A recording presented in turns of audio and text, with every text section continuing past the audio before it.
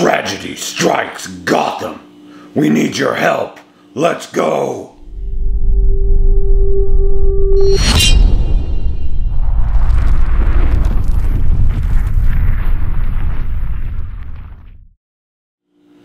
Alright guys, it's what we've all been waiting for. Time to reveal the Batman clutch. But let's get in to the tragedy first. So as most of you know that have been following along with my videos, we had 11 eggs from the leopard spot nose het clown. All 11 were alive and well when I cut them, but one of them was severely kinked. As you can see here, there is no chance this snake would have ever survived it actually died in the egg. It never did come out. It was kinked from head to tail. It was a leopard, spot nose, het clown. I didn't check to see if it was male or female. There was no use. It was dead. I knew something was wrong because everything else had came out of the egg and that one was still sitting in there. So when I went to cut a bigger window in it and I started to pull out the tail a little bit, that's when I seen that the tail was really kinked. Tragedy struck the Batman clutch, but there is some triumph left in this clutch. Let's check it out, guys. Alright, guys. So let's start off with the lowest and go up to the highest. Right here we have a normal Het Clown male. This boy will be available once he's had his meals and shed and done all that. And right here we have a leopard Het Clown, male.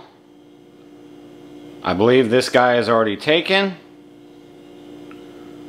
And uh, he'll be going to his new home after he's had his meals and his sheds and all that. So again, that one's a male. Leopard, Het Clown. Right here we have a female spot nose, Het Clown. This is a holdback. I will not be getting rid of her. I don't think you could ever have enough spot nose and het clown females in your collection. So this girl will be staying here. She is beautiful. Can't wait for all these snakes to shed. And before we get into the visual clowns, this is a mystery snake. So this is what looks like a spot nose calico. I mean, it's crazy, these side patterns. I'm really anxious for this one to shed. This is a female, so this one will be staying here. But there is no calico in this pairing. In fact, I don't even own any calico. The previous owner of Mom did not own any calico. So this pairing was a leopard spot nose het clown female and the male was a blade clown.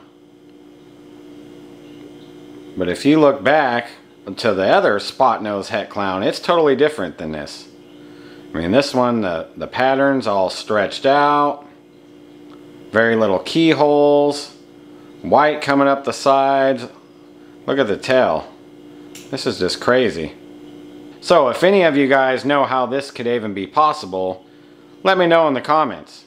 Does it look like a spot-nosed calico het clown to you? I know hets play an influence, but not that much influence compared to the other spot nose.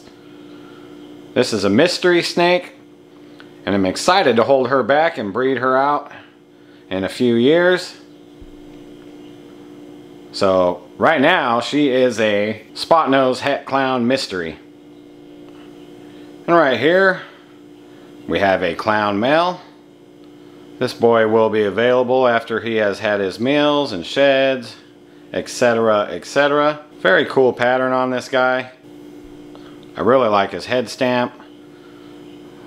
Like I said earlier though, none of them have shed, so they're still all pretty shiny. I'm really anxious to get these guys shed out and really take a better look at them. So this is a clown male that will be available. And right here, we have a leopard clown female. Hold back, of course. She's got a great pattern. Love how much pattern she has, actually. There is blade in the mix, so I was scared it was going to reduce a lot of the pattern in the snakes, but this girl came out with a lot of leopard pattern down the sides. Nice, good. Dorsal stripe. Look at that crazy little stuff on her tail. It's cool how that dorsal stripe kind of, it still stays connected, but it does a cool little pattern, kind of like a slip knot S or something. She is beautiful, and like I said, she is a holdback. Before we get into the crazy combos though, I gotta give a shirt shout out to Miguel. Big dog, I was one of the first people to get this shirt before he even went public with it.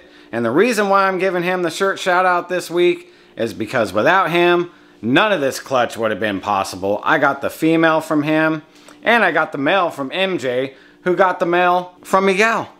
So, big shout out to Miguel. Been a day one supporter, always believed in Small Town Xotics. Now, I gotta admit, I was wrong. I thought we hit two or three Batmans. We did not hit two or three Batmans.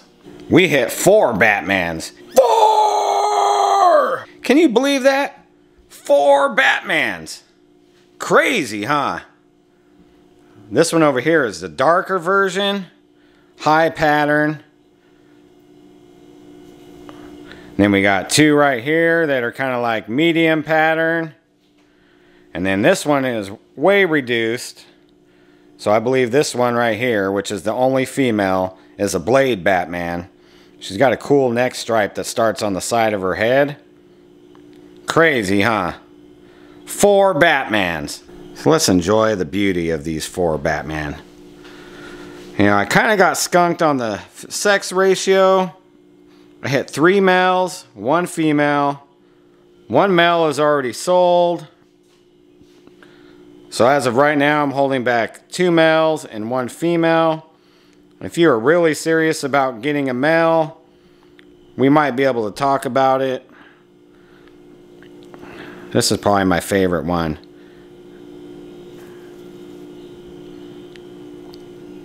This guy right here is extra dark versus these other two males.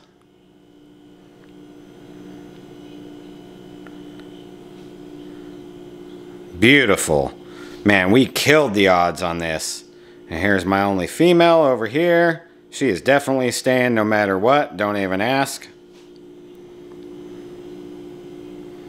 And that's the results of the Batman clutch.